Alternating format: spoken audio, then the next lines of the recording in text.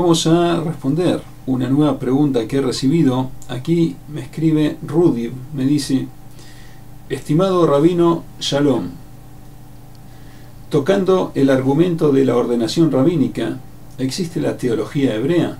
¿El rabino sería un teólogo judío? ¿Existe el seminario de formación rabínica o yeshiva? ¿Y qué se estudia ahí?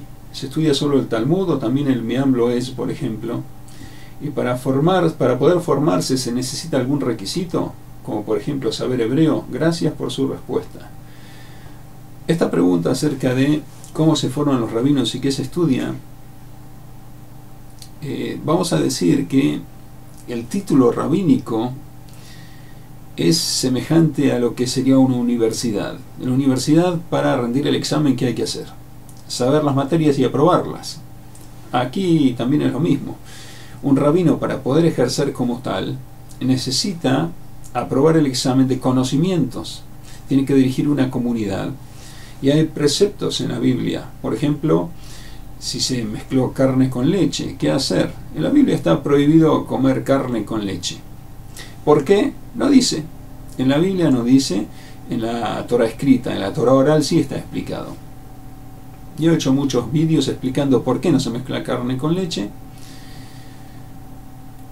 Y como es un tema tan importante, que la Biblia dice no, no comáis eso junto, el rabino tiene que saber. Tiene que saber, por ejemplo, si había una olla con comida de carne y había otra olla con, con, leche, con producto lácteo, y se volcó una parte de la olla sobre la comida de carne, ¿qué ocurre si, si, se, puede, si se puede comer, no se puede comer?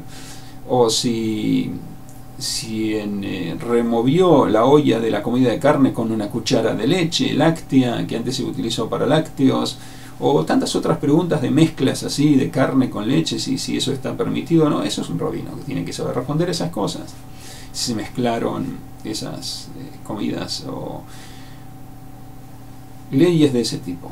Tiene que estudiar, rinde el examen y con eso se recibe de, rabino. Conocimientos, es una universidad. Respecto al libro Meam Loes que se cita, eso no le van a preguntar en el examen libro Meam Loes. El libro Meam Loes es eh, una parte del Midrash, son citas del Midrash. El Midrash son disertaciones de los versículos, son enseñanzas que llegan al corazón, porque son, tienen cuentos, historias y disertaciones de versículos, conjeturas. Eso no le preguntan en el examen a un rabino, le preguntan leyes, las leyes que he mencionado y otras que, bueno, se rinden. Tiene que saber si responde bien, correctamente, le dan la autorización, ha llegado, ha aprobado el examen y ahora es eh, rabino. Pero eso es solo los conocimientos. Eh, la parte teológica es algo que, se asume. Eh, si saben que alguien no cree en Dios, por ejemplo, en un único Dios, ni siquiera le van a permitir rendir el examen. Supuestamente eso es algo que se asume. Nadie, que, nadie que, que, no tiene la fe íntegra en que hay un solo Dios es parte de la Torah. Shema Israel, Hashem lo que no Está escrito en Deuteronomio 6.4 Oye Israel, el Eterno es nuestro Dios, el Eterno es uno. Quien tiene dudas de eso, ni le van a permitir siquiera presentarse a un examen. En las yeshivot, son las academias de estudio, se estudia el Talmud y ahí se enseña todo lo que el alumno necesita saber para formarse dentro del judaísmo. Las yeshivot no se preparan para ser rabinos. Cuando uno egresa de la yeshiva, que vendría a ser como el colegio secundario, lo podríamos comparar, eh, con el colegio secundario, porque los niños estudian el colegio primario, después pasan a la yeshiva, que vendría a ser el colegio secundario de judaísmo. Cuando termina el colegio secundario, que tendría la yeshiva, donde se forman en todas las áreas del judaísmo, que ahí hay una parte de bitajón, que sería seguridad en Hashem, donde, donde le enseñan sí a temer a Dios, a amar a Dios, podría relacionarse eso con la teología. Yo dije que no en relación con el certificado rabínico, pero en la yeshiva, que es distinto, la yeshiva es el secundario, el colegio secundario. Ahí hay materias que es eh, Musar, por ejemplo, que ahí se tocan esos temas. Pero cuando uno va a rendir el examen de rabino, que uno terminó la yeshiva y ahora ya es eh, egresado, puede estudiar para rabino.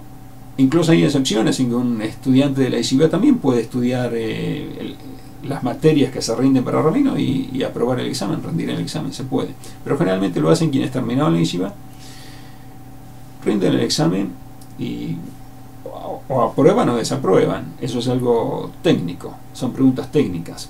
Después, cómo se van a convertir en rabinos de comunidades, la comunidad los va a elegir. Pues si es una persona que es eh, mal educada, por ejemplo, aprobó el, el, examen, lo tiene ahora, es rabino, aprobó el examen, sí es rabino, rabino, pero rabino que es que sabe diferenciar eh, carne y leche, si se puede comer o no se puede comer ese producto que se mezcló. Pero hay muchas otras cosas en la comunidad a tomar en cuenta. Hay que ser sensible con las personas, hay que aprender a escuchar, hay que eh, compenetrarse con los problemas de las personas. Eh, cuando hay parejas que tienen problemas, hablar con uno, hablar con otro, hacer las paces, hay muchas cosas que, hay que tener sentido común, hay que tener, como dije, sensibilidad. Y eso, eso lo va a elegir cada comunidad. Ahí va a ver, si es una persona maleducada, por ejemplo, que va a tomar un rabino que sabe mucho y es maleducado, que sería ridículo. Eso lo eligen las comunidades. En la comunidad hay una comisión, esa comisión se reúne, si se necesita hacer una asamblea general para pedir opinión a todos los miembros de la comunidad se hace. La comisión eh, reúne los nombres de los rabinos, quizá lo presentan en asamblea general también, los rabinos que se postulan o los que tienen en carpeta, y eligen. Una vez que eligen, pueden eh, tener una reunión con él, a ver si está dispuesto, porque también hay que convenir el sueldo, eh, dónde va a vivir, muchas cosas que se arreglan. Es un trabajo. El rabino de una comunidad es algo que lo van a tomar, le van a pagar y le van a exigir que, dirija la comunidad y ciertas pautas que la comisión directiva le, va a imponer. Pero no tiene nada que ver con el examen rabínico. El examen rabínico es aprobar las materias que, que constan en el programa rabínico y si aprueba se recibe de rabino. Que lo van a tomar o no en una comunidad es algo totalmente eh, ajeno al examen rabínico, eso queda a criterio de, cada comunidad, de quién lo va a elegir. Aquí no es un negocio de que el rabino va, aunque, aunque hay casos en que sí, el rabino reúne cierta comunidad, pero ya se sería su comunidad como negocio propio, digamos, él se hace su comunidad y se forma su comunidad. También eso está, está en su derecho de hacerlo. Quienes quieren lo siguen, quienes no quieren no lo siguen. Pero es una comunidad formada, la comunidad misma decide. La comisión directiva se reúne, decide a qué rabino acudir, eh, presentarle la propuesta y si aceptan ambas partes se firma un acuerdo y ya queda como rabino de la comunidad. Si no se cumple alguno de los puntos del acuerdo se verá si suspender el eh, contrato o no. Es como un, contrato laboral también. O sea que son cosas independientes. Si Yeshiva es donde se estudia, es como el colegio secundario eh, para aprender el judaísmo, los fundamentos esenciales, después de la escuela primaria y el examen rabínico es eh, independiente y después queda a criterio, como dije, de cada comunidad elegir a tal o cual rabino. Hasta aquí esta respuesta a esta pregunta.